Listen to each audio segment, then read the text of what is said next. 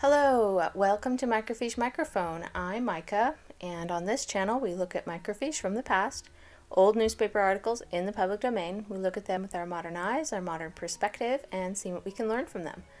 On this microfiche time capsule, we are looking at the Ladies' Home Journal from April 1884. Now, this or this series was originally called "What Women Want to Know," and this time it just seems like it's been put under editorial notes. I'm not sure why it's no longer given a title, but it seems to be the same kind of information as the others. So I'm going to continue to read them, even if they're not titled officially the way um, was before. So I'm going to skip over their information about how to pay for your subscription. So let's take a look. Just now is an excellent time for looking over the family wardrobe to see that those cooler changes which may be needed by and by are in readiness, to make new if required or to repair the old. Uh, April, I guess. Interesting. Um, so I guess they're like, hey, get out your cooler clothes for summer so that you can make sure that they don't have any holes. I mean, that's always a good idea, I guess. To write a good love letter, you ought to begin without knowing what you are going to say and finish without knowing what you have written. okay. Oh, that's I don't I disagree, but if you say so. Begin without knowing what you are we're going to say. Okay. Let it be a little spontaneous from the heart.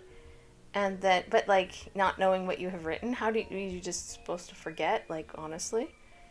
Um Sorry if you can hear the screaming. There are some children playing in the like back area behind our house. like they're just playing. I promise nobody's dying.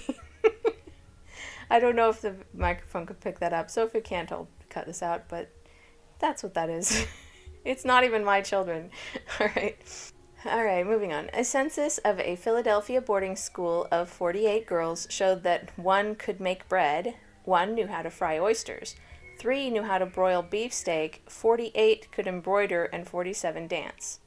So everybody could embroider. I think that's the only one everybody could do. I don't understand the point of this census. This like census. They're calling it a census. That's not a census, dude. That's a questionnaire. but I'm not sure what the point of it is. Moving on. If any person calls you stingy because you are trying to live within your income, his opinion will have but little weight with sensible people. Okay, I like that. Like, you're just trying to live within your income. People are like, oh, come on, live a little. And you're like, no, really, I can't afford it. You know, calm down. And, like, that's actually a legit answer. It's okay to not be able to afford something. Yeah. I like that they took off the stigma of that. A clever woman has made a very effective stair carpet of scraps of cloth neatly sewed together as in patchwork and edged with scarlet two inches wide. The pieces are all the same size. That's a great idea. I like that they're just giving you ideas of how to like make something that you might not be able to buy. Beware of papers that are promulgated by lotteries. Such papers are frauds to every intent and purpose. The publishers of such papers are utterly without conscience, and if they do not cheat you in the first place, simply get you where you, they can cheat you more effectively the next time. Uh, like, I'm not aware of papers that are promulgated by lotteries. I mean, does anybody know of any? Um, I, I am not a big fan of lotteries in in general, so if like I would agree, kind of stay away from things that lotteries are like the driving force behind because they cheat you more effectively. Yeah, that's kind of what lotteries do, and I, that's why I'm not a big fan of them. I think that the chances of winning are so low. The amount of money you spend over a long period of time is so high that it's just not even worth considering buying a lottery ticket. In fact, I, I've never actually bought a lottery ticket because I know that I'm not going to win if I buy one. So why should I even bother? So I, I agree that it's like lotteries, but I've never heard of papers connected to lotteries. But if they say there was some, I'm sure there were. Ugly back of a splint rocking chair can be improved by covering it with a strip of drab linen with a narrow border in outline stitch on each edge. Slip one end between the strips of wood at the top, and bring the other end under at the bottom and fasten them securely. If tidies are put on these chairs, the only way to keep them in place is to tie them with the rounds at the top. If done with ribbons, look, this looks pretty. Okay, I like that. Like, here's a way of, of pepping up your old rocking chair. Like that. Make an overall dress protector to wear over your afternoon dresses. A dress protector, so you mean like an apron? okay. Tear off three widths of gingham or other suitable material of the same length as your dress skirts. Sew together and gather it so it will set smoothly, and then cut a plain waist rather low in the neck to prevent mussing your neckline and sew to the skirt. Bind the neck and armholes. Sew to the skirt. And really? Bind the neck and armholes and put a large button on each shoulder. Put buttons down the back from the neck to waist, leaving the skirt to hang loose. Next, make a pair of short sleeves, of shirt sleeves, buttoning at the wrist, and put a button hole at the top. The sleeves need not be used unless your dress sleeves will not roll up. With this outfit on, you can prepare supper in your best silk without danger of spoiling it. But if you're sewing it to the skirt, then you're not going to be able to get it off afterwards. So at first I thought it was like an apron, but it sounds more like another dress over top of the one you're wearing. Like that's slightly strange to me. I guess it's a good idea, but like I'm gonna have to look up some pictures. I'll post some pictures if I can find a picture of this, but this is like that that's just wild to me. Rub your black walnut sewing machine tables, your cabinet, organ, or any other piece of solid furniture you may have with a cloth moistened with kerosene oil, and you will quickly see an improvement, but keep it away from varnish. No, that's great advice because anything made out of hard wood, you have to rub down with oil. You can't like scrub it with that like you can like a tile floor, for example. And so letting people know this is a thing, yeah, it's a good idea. A sour look, an impatient gesture, a cross word at the breakfast table is enough to make the best food indigestible and spoil a day. Yeah, I agree. Like, be kind to each other. Yeah, be kind to each other.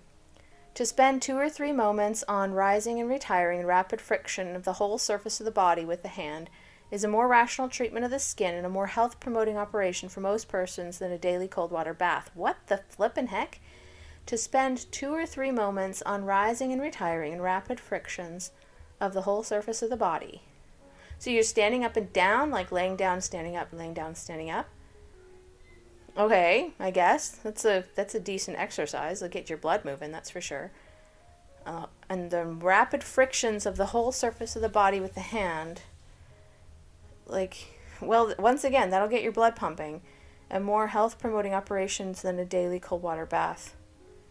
I, i'm slightly speechless by this. Like it depends on the point. If you are trying to get clean then the bath is better. If you're trying to wake up then i guess this would make more sense but like it depends on what the point is of the activities you know? Bitters all bitters offered for sale contain alcohol. Many take them in place of brandy, whiskey, rum, or other forms of spirits, persuading themselves that they are reforming as to their beverages. Okay, that's a good point. Um, I've heard this. I've heard this before. Any kind of bitters, so like apple bitters or like, um, you know, I'll post some pictures once again if I find any. Um, I, I don't know what was available back then. Yeah, it. So I understand. Like that's that's actually a decent warning because if you're trying to go with no alcohol and then you tr- you drink bitters, then you're not going with no alcohol. Yeah, you're not avoiding alcohol. No Norwegian girl is allowed to have a beau until she can bake bread and knit stockings. And as a consequence, every girl can bake and knit long before she can read or write, and she doesn't have to be coaxed into her industry either. So, who made this into law? I'm sorry, but I very sincerely doubt that this is a law.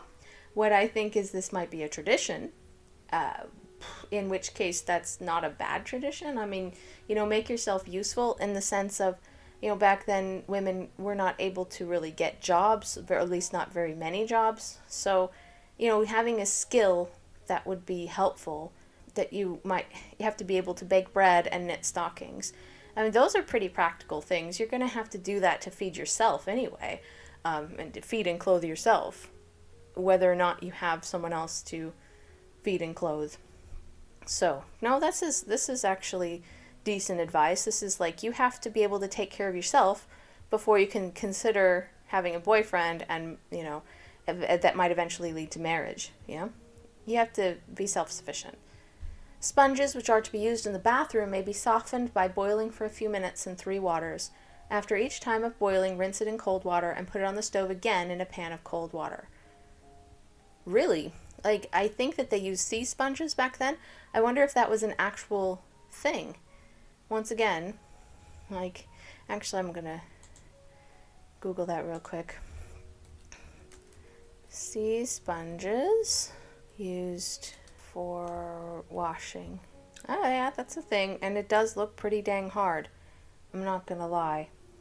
Um, so, no, I could see this as decent uh, amount of good advice. It sounds to me like boiling it and then cooling it off and rinsing it again and then boiling it again.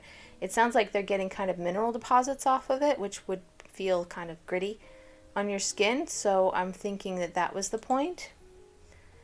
Interesting. Like, I had never really thought of them using sea sponges back in the day. I guess it kind of makes sense, but I don't know. Like, I always pictured them using like washcloth, like a just a regular scrap of rag to like wash themselves with. I never really thought of them, you know, using sea sponges. I guess it was a thing. I guess it was a thing. It's interesting. Anyway, I, I've learned something today. How about you? I think most of these were pretty innocuous. I don't agree with everything they say, but they were a little bit random. Uh, I really am very curious about some of the like fashions they used to wear because some of the way they talk about it it's like like why did you wear a dress over another dress? You know in order to protect your pretty dress. Uh, i don't know. Like yeah i get aprons but that did not sound like one. That is so weird to me. It was full length sleeves goes all the way up to your neck. Um, actually no i think they said it was lower than your neckline yeah? Rather low in the neck to prevent like mussing up your neckline. But then, like, how would you protect then the bodice? You know what I mean?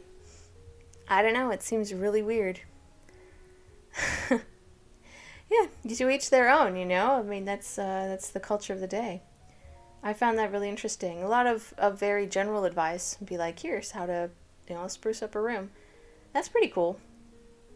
I love the insight into the age really. I think that's what I find interesting. So I hope you do too. If you do, like the video down below, subscribe to the channel, and I hope to see you in the next video.